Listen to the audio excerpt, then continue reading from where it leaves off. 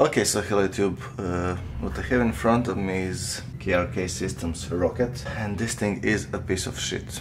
Uh, PCB is piece of shit. The gunk that destroys everything is a piece of shit. The components are a piece of shit. Well, everything is a piece of shit. So uh, I would not suggest you buy this speaker. Now, unfortunately, uh, I actually had it a couple of years ago, and Thank God I sold it. I have Adams A7X. Anyway, this thing came in for repair and I already repaired it, but uh, because I'm an idiot, uh, I didn't record my repair, but I'm going to show you what I did. The problem was that the bass was not working, so low pass was gone. And uh, I'm going to show you just what I checked and uh, how I checked it and uh, hope it helps somebody. So let me, first of all, let me show you that this thing actually works. I'll be connecting this thing uh, power supply and since I have this uh, fucking iPhone I need to have dongles, dongles everywhere. And I'm a kind of person that loses dongles. So yeah. Anyway let me turn it on and uh, let's uh, I'll start just a song uh, any song but not for too long due to copyright. Now as you can see. American, me and my friends are platypus. So uh, yeah, copyright, whatnot. But yeah, as you can see it is working. I will be removing this part and I'll be showing you exactly what I checked and how I checked it. Because uh, it might help you to troubleshoot the, uh, well, your problems. So first of all, these two capacitors were bulged, so I replaced them. Then these two capacitors were bulged, I replaced them as well. It did not help. So I thought that this was the problem, which is the, uh, I believe 60 watt amplifier for the bass, and uh, it was not. Uh, I replaced it for nothing. Then I thought that these uh, two capacitors, there is one in here and one in here, which are 10 microfarads. They're connected to a, to a diode, to a mute switch. Then I thought that these capacitors were uh, faulty, but they were not. Anyway, so I started tracing everything, and I will be show you how I traced everything. And it, in the end, it turned out to be, I don't know whether you can see it in here, this diode. So, uh, this gunk, for some reason, starts to uh, conduct electricity after some time, I guess. And uh, yeah, uh, when I tested the diode from above, it was okay, but then I pushed it, because this gunk, and it turned out that this gunk uh, just destroyed this uh, wire that goes into the uh, PCB. Unbelievable. So yeah, if you have such problems, that might do, that might solve your problem. And, and as you can see, this is how I uh, installed the diode just to see whether, whether that thing was the issue and as you can see it is. Now I'll be showing you how I actually traced the problem and I'll be showing you the pinout that uh, I uh, kind of uh, followed. So I downloaded the, uh, this application which is called Signal Generator and I, I basically selected the frequency. You can go from here to here. It's actually irrelevant. Now in my case we need lower frequency which is kind of a bass frequency. Anyway after I've done that I've connected uh, one of these to uh, my oscilloscope just so that I can see what the waveform looks like. And let me show you on the oscilloscope.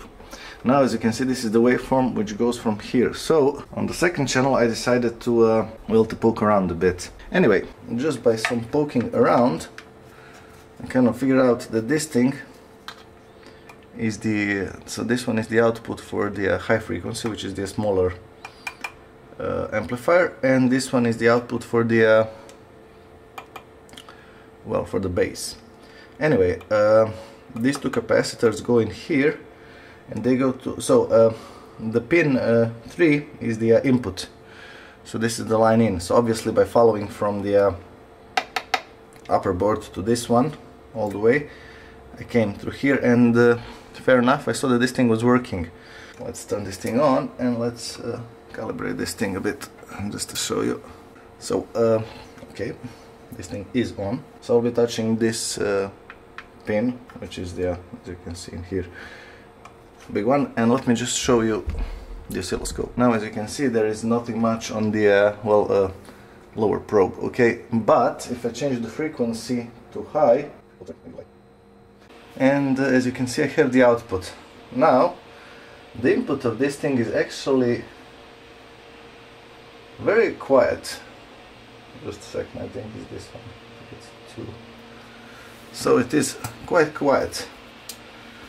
But you actually do get the input so uh, as you can see when I am uh, it looks more like noise than an input but it is an input so I guess I don't know shitty amplifier whatnot So anyway, uh, after I tested that, uh, let me show you what else I tested. So again, um, in here the pin 3 is the align in.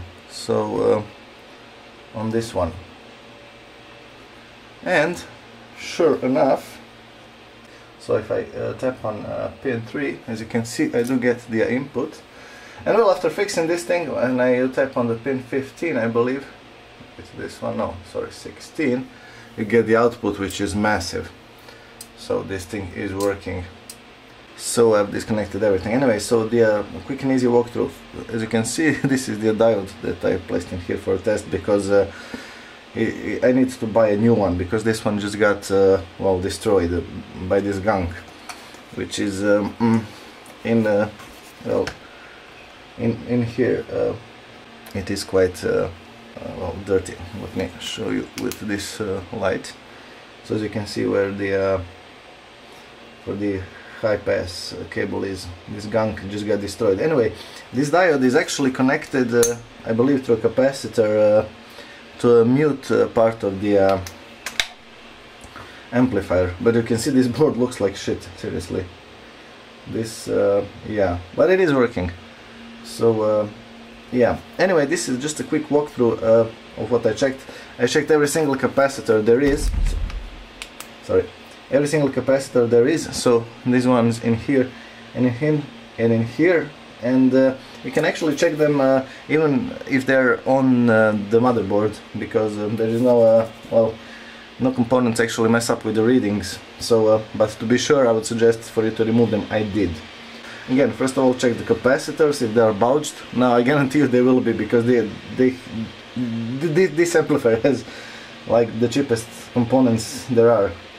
This is I believe operational amplifier and uh, I actually did check that but uh, yeah everything was okay. So basically the idea is it goes from here to there and there to op amp and then and there and then to the uh, well these two chips. Actually quite easy to uh, follow even without the uh, schematics although there is a schematic online. Well this is just I guess a simple walkthrough and uh, if you do have any questions please ask. I will try to answer them but uh, you just need to follow the pathways, it's actually quite easy. I need to buy a new diode, bloody hell. I would never actually think that uh, this gunk would make short circuit and destroy the uh, destroy the wire part of the uh, uh, component, definitely. And that's it for this video, uh, until the next time, cheers. Please like, share, subscribe and uh, yeah, bye.